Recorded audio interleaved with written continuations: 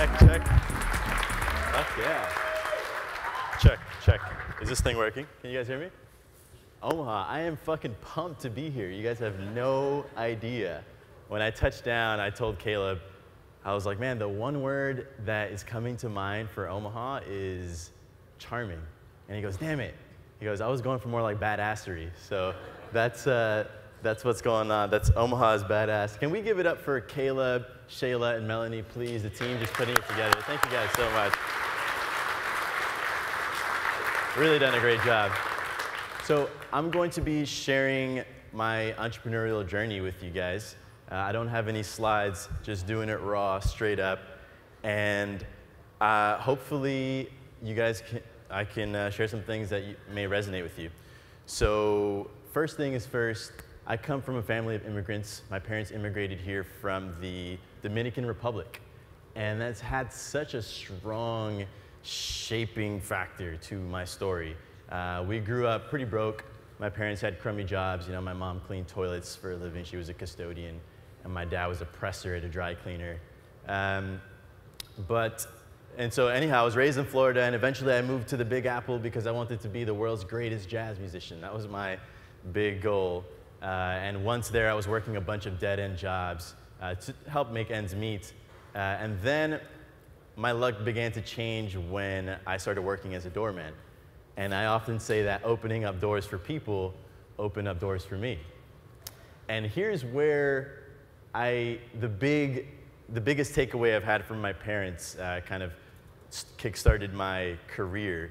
And that is, they taught me well, I'll, I'll, give a little backstory. I, as a little kid, I would go into where my, where my pops worked. So he's a presser, so you can imagine it's like a sweatshop, and he's in the back and he's pressing garments. And I would go there for, I don't know, a couple bucks so I can get a slice of pizza or something. And there was one time in particular when I went, and he was pressing a blazer, okay? And he said, Son, come look at this blazer. And I, I really just wanted to get the hell out of there because I wanted some pizza. Uh, but he opened the blazer, and on the inside of the blazer, there was uh, a couple of wrinkles. And so he said, Son, I could send this out, and the customer would never know because it's on the inside. But, and he steamed it out, and it was really smooth. And he said, But I press it out because I know it's there. And so he said, The way you do anything is the way you do everything the way you do anything is the way you do everything. And that really clicked. And so when I was a doorman, I was the best damn doorman you could find. I learned your name, your kids' names, your pets' names. When I would see you come, and no one would have to tell me anything, right? I'd get your clothes ready and your boxes and your packages, and I'd do it with a smile, and I'd do it genuinely. And this kind of energy that you put out, uh, life begins to reflect it back to you um, and so I started building genuine relationships with the residents. And so here's where it all got started for me. One of the residents in particular said, John, you seem like a smart kid. Why don't I offer you a business opportunity? And for him, he had made his fortune with a chain of dry cleaners. And he's a dude who comes from the streets, you know, and he wasn't shy about his money. He wore fitted and he had like a beamer and he ro rolled with like a rollie on his wrist. Um, real cool dude. It got really close to him. And so here was the premise. He said, okay, look, I have a dry cleaning facility. I'll give you wholesale rates without you having wholesale volume. So in other words, a blazer, again, would cost you guys about $7 to dry clean.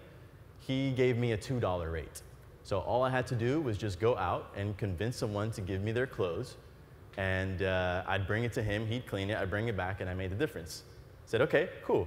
I can mess with that. So the, the very beginning of the business was just me going to other doormen saying, hey, my name's John Henry. And I would go with my cheap suit and my cheap briefcase and my cheap business cards and say, you know, I'm a doorman too. And I know that you're the key to the building. And you know, I know that residents complain to you for every, uh, every time their, their dry cleaning goes wrong. So I'll slip you 20 beans for every customer you can get me.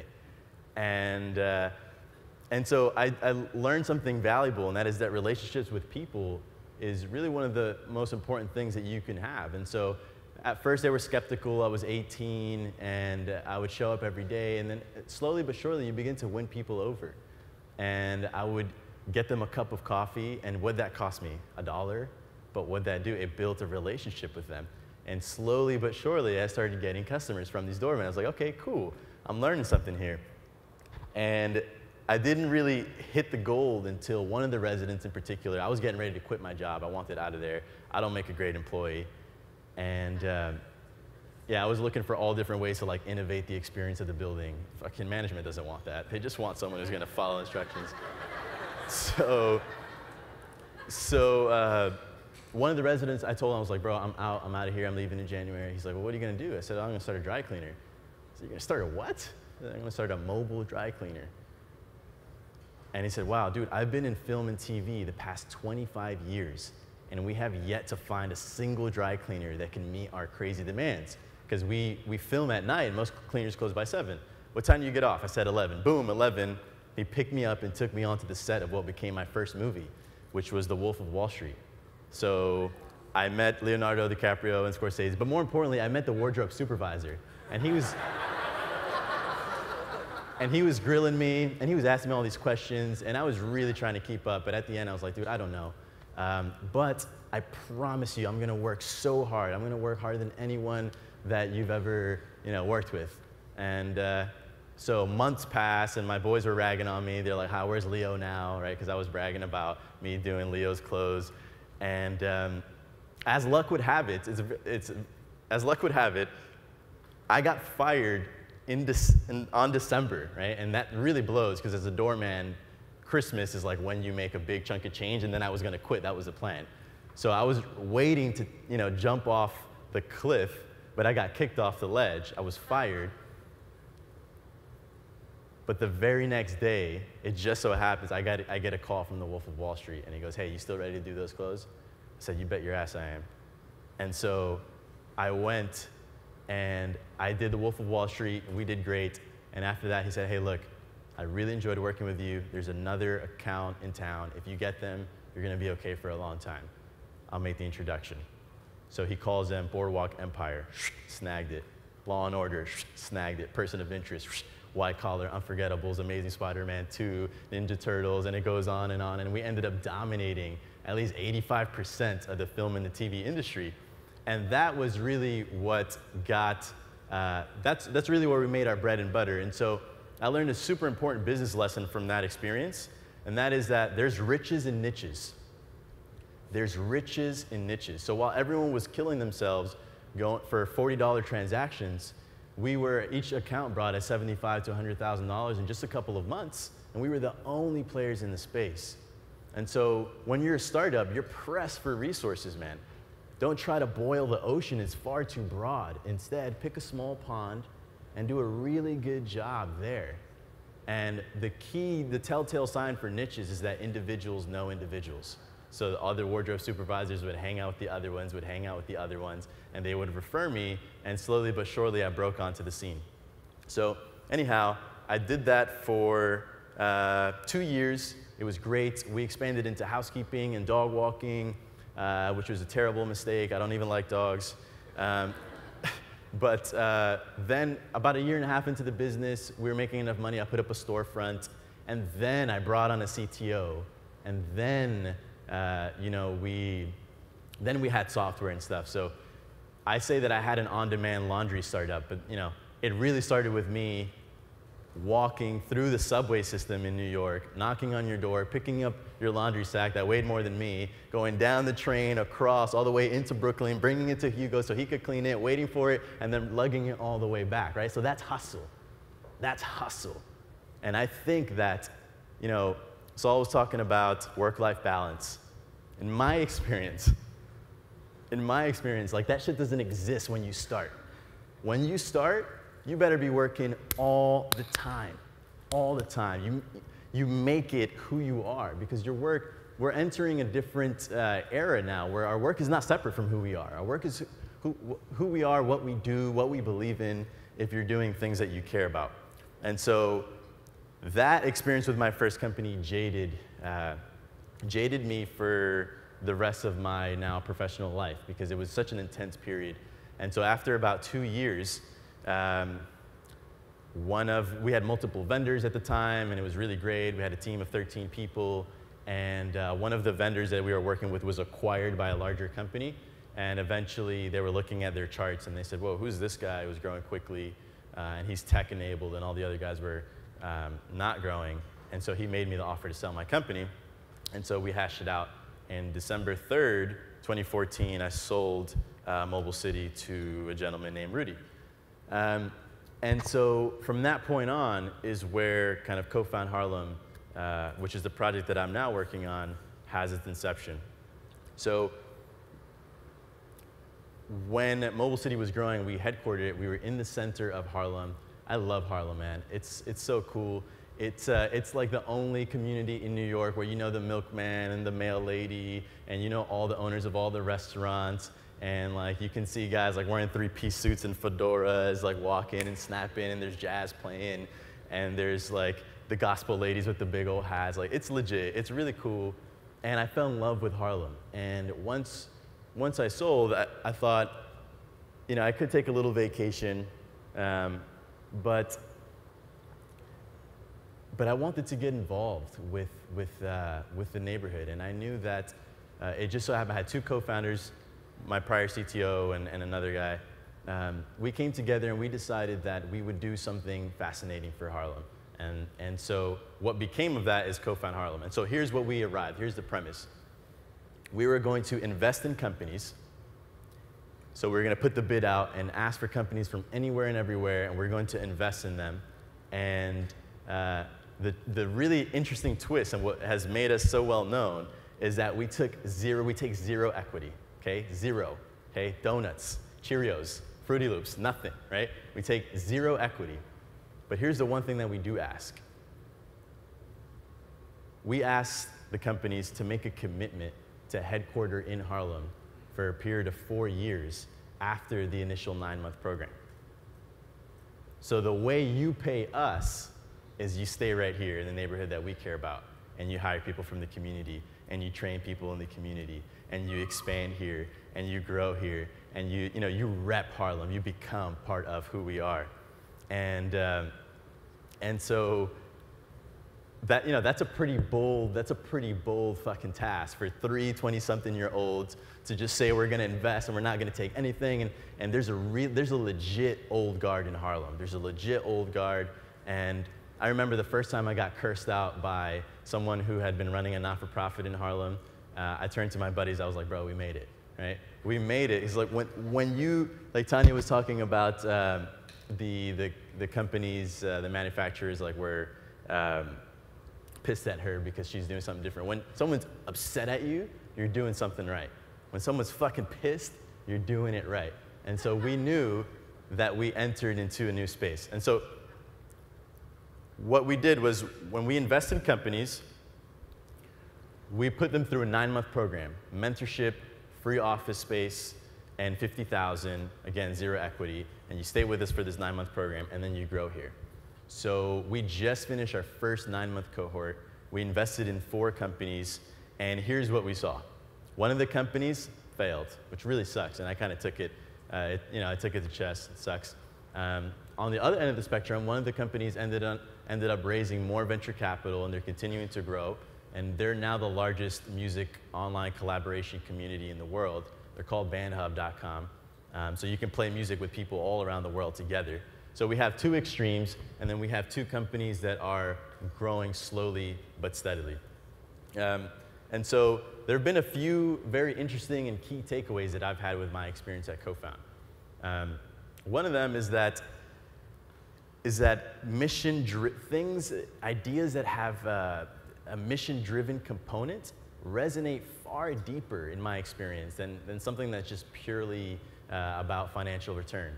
When, when I speak to someone and I tell them about CoFound, I tell them that we take zero equity and what have you, I can see them light up in their eyes and that resonates with them and they want to tell people about what we're doing and they become emotionally invested in the project and you know, they join your funnel and they tell people about what you do. And it, it's a really fascinating thing because when we started, we had so little resources and we were able to grow as quickly as we have because people give a shit about the mission, right? So the second thing was that we, we got really creative about value exchange. And so we offered companies free space, but we didn't own any real estate. So what we did was we convinced, there was a, a Jewish real estate developer in the neighborhood, really well-known guy, and uh, I remember everyone had told me, I have to meet Yoav, I have to meet Yoav, I, you know, he's the guy for you. And I wrote down in my notepad, I said, I'm gonna meet Yoav. And it just so happened the very next day I was at the bank and I had just Googled him so I saw what he looked like. And I was handling my business and I look over and sure enough, this guy, Yoav, pulls up next to me. I was like, oh fuck, that's the guy. And, and like I see that he walks over to the, to the customer service desk and I like cancel what I'm doing with the teller. I was like, forget it, forget it, forget it. And I like pack my stuff and I like walk over next to him. And you know, I was just doing my stuff. I was like, are you, are you Yoav from, from Artemis? And so we struck up conversation, and I had a 30 second opportunity to just pitch him, and I did, and I landed the meeting. And so what I told him was, I said, hey, we want 4,000 square feet of office space, and we want that shit for free. and he was like, why would I do that? And I said, well, if these companies are committing to stay here for the course of four years, and they're, they're making a physical, written legal commitment to stay in Harlem and they got to go somewhere and you own all the land, I think it behooves you to make it easy on me to do this. And so a light bulb went off in his head, and thankfully he was progressive enough to really understand. And so we formed this strategic partnership. That was a super key lesson for me here, and perhaps uh, it may resonate with you as well. It's like whenever you don't have resources, find some way that you can deliver value to someone that would make them want to give you what it is that you want. And so it just so happened that he had a bunch, he had a big open space just like this. And, uh, you know, he put us in there and he said, all right, John, he said, you have a year to make this shit work. And, uh, you know, I, I couldn't call on him for anything. Like he was pretty hands off, but he gave me the space that I needed to really get going. And so now a strange thing happened after the nine month cohort. We, we, uh, we finished the program and I made a big announcement to all of our uh, the people in our network and our press and what have you. And then it was time to hit the streets and fundraise. Now, Co-Found Harlem is a non-for-profit, and I really hate fundraising for a non-for-profit. It feels a lot like I'm sticking my hand out, and I'm a for-profit kind of dude anyways, and so it, it didn't feel right. And this is when one of my mentors said, John, you guys are doing a good job creating valuable companies. There's no reason that you can't do well and do good at the same time. You can do well and do good at the same time. And so he said, Why don't you raise an actual venture capital fund? And it was just one of those moments where, you know, it was like a single thing that he said to me that really got me uh, thinking. It was, I was pondering it, and, and I had made such a brand for being a non for profit guy at this point, so I was hesitant to let that old image go but I knew in my heart that that was the way to complete the pipeline. And so we went out there and we hustled. And um, we, we did end up raising a small $8 million fund called Co-Found Ventures. And so now the idea is we're going to take, so we still have this non-for-profit where we have all these companies coming through, and then we have Co-Found Ventures that puts money into them. Uh, we double down on the, on the winners, and they stay in Harlem, and they grow. Um, and so with that said, it's, this is where I'm at now in my professional trajectory. It's been a fucking awesome ride. Um, and I feel like uh, for, those, for those of you considering starting something, you know, I, I feel like there's a lot of talk about product market fit and, you know, accelerators and like uh, marketing and shit like that. But the most important thing is hustle first. You have to want it so bad, so bad. And the, the key lesson that, that I'll leave you guys with is that most people think that seeing is believing. But that's a skeptical attitude. Because then you're only dominated by what you can see, hear, taste, smell, and touch. But I believe that believing is seeing. First, you have to see it in your mind and believe it so strongly, so strongly, just emanating off of you, that physical reality has no choice but to catch up. Believing is seeing. And so, if you're a founder and you're in the audience, and you believe, and you know what? I, I also have been hearing a lot about like that founders went out and like really wanted to solve a problem, and that's fucking fantastic. But when I started my first company, there was no problem that I wanted to solve. I didn't want to change the world. Like I just wanted to be in business for myself, and that's enough too, man. Like if you just want to be in control of your own destiny and start a company, that's cool too. You don't need to, you know, generate clean water for Africa or any like you just if you just want to do it and it's burning within you, please know that you can. And all you have to do is just take a step, man. Take a step. And so that's all I have for you guys. Thank you guys so much.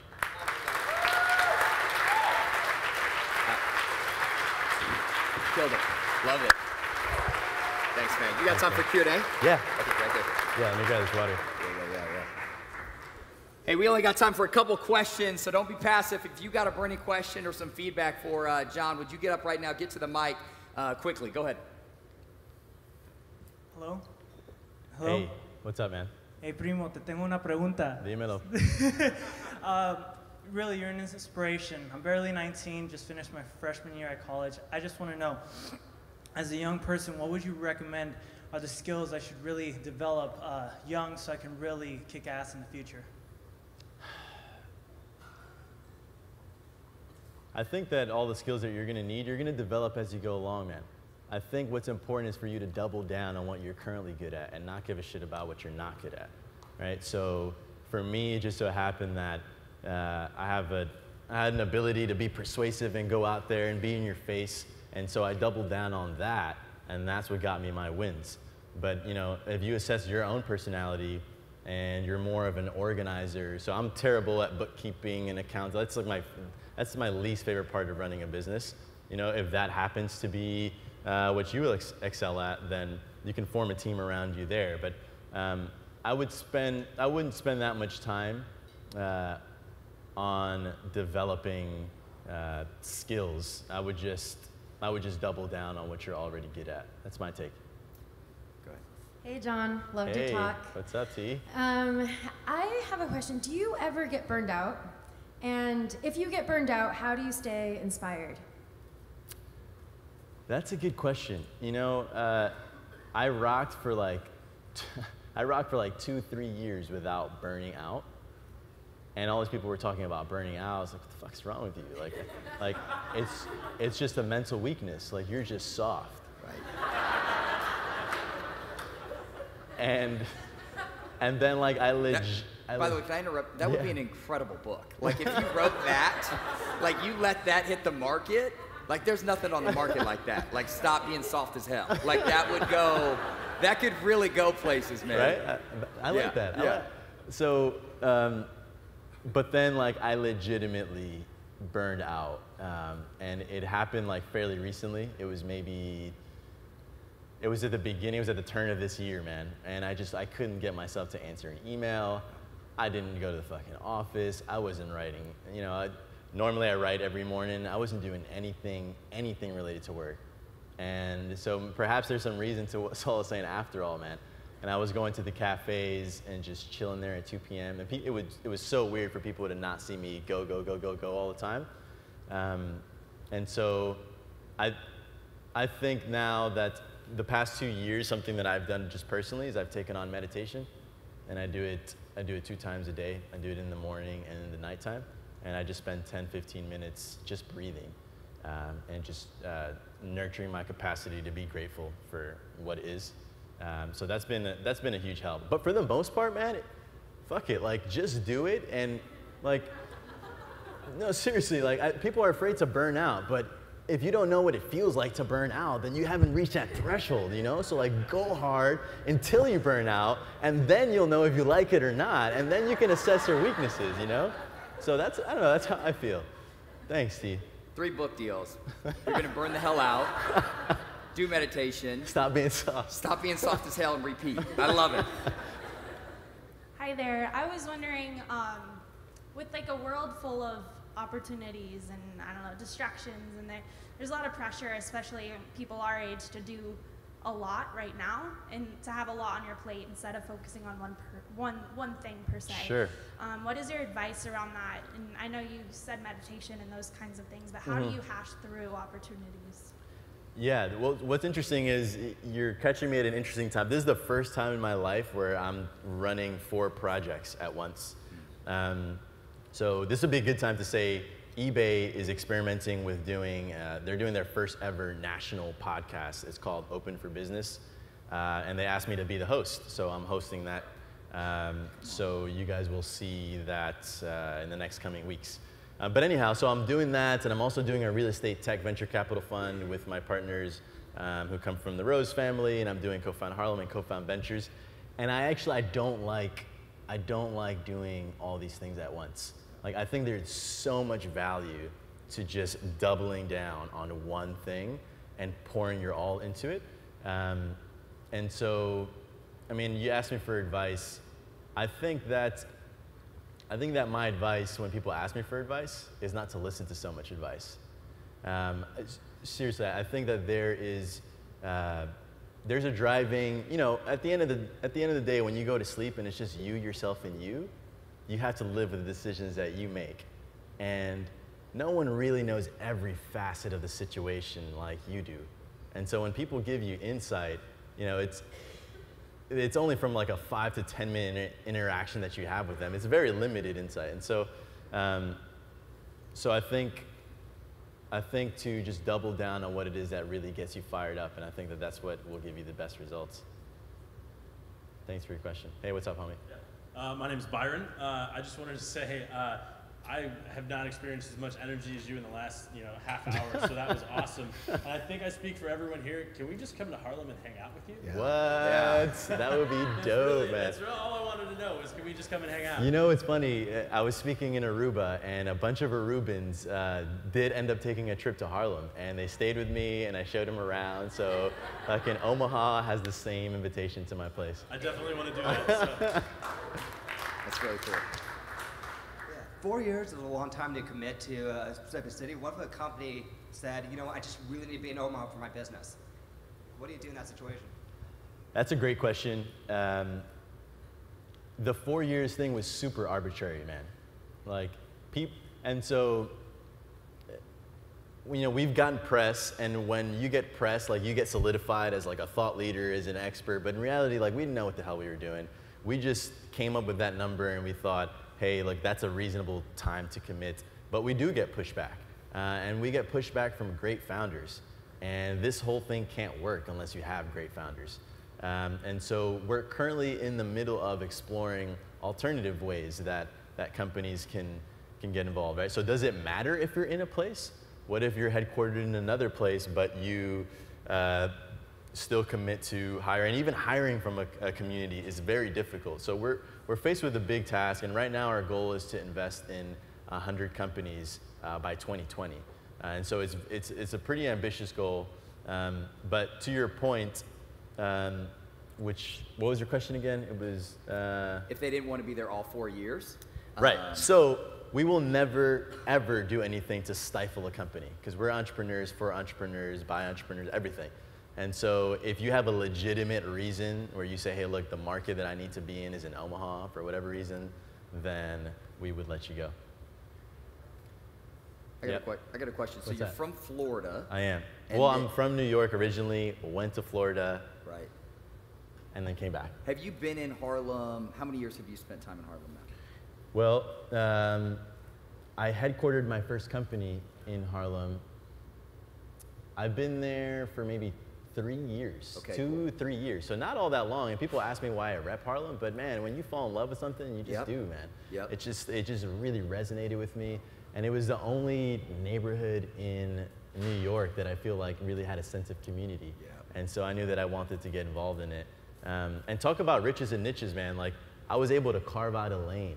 So everyone knows that, you know, John and, and his co-founders, Evan and Haisha, like we rep uptown. Yep. And so it was it was fascinating to carve a very clear distinction, and we're in our own lane now. Yep. And so I think that entrepreneurs should be like again riches and niches. So start with something super specific. So if you're a photographer, not good enough. If you're a, photog- a dog photographer, that's better. If you're a Dalmatian photographer, even better. You want to be the first name that's, that, that comes to mind when, when someone thinks of a thing.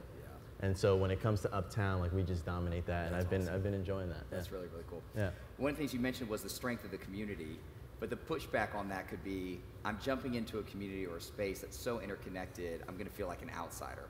So you've done something to become an insider in that community. Yeah. Where people are championing you, saying, we would rather give you free space to keep you here. Right. So coach us just relationally. What did you do to become an insider in a culture, you know?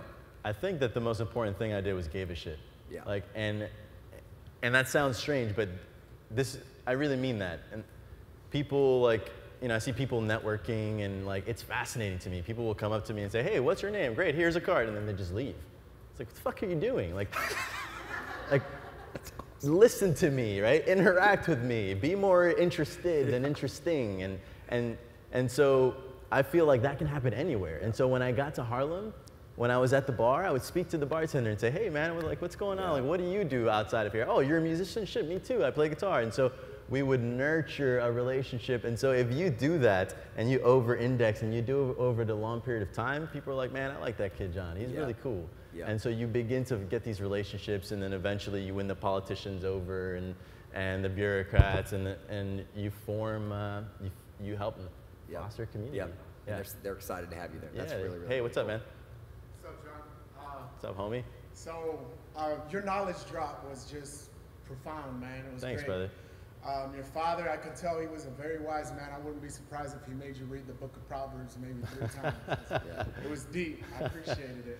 Awesome. Um, my question is, is after your success, uh, how do you how do you keep uh, your success from uh, affecting the relationships around you? Like you're you're a man who's very well integrated in the community. You probably have a lot of relationships everywhere, and now that you've achieved so much success, um, you probably have people coming at you from every every other way. How do you keep that from affecting the relationships around you? Well, I just want to clarify. I don't think I'm successful yet. I don't think that there's ever this moment where uh, I'm going to achieve something and say I'm successful. You know, I think that um, I've just been enjoying the journey and going along, and and thankfully, like the, the things that I'm deciding to tackle are a little bit bigger every time. Right. So at first, my my biggest challenge was like, can I clean your dirty laundry?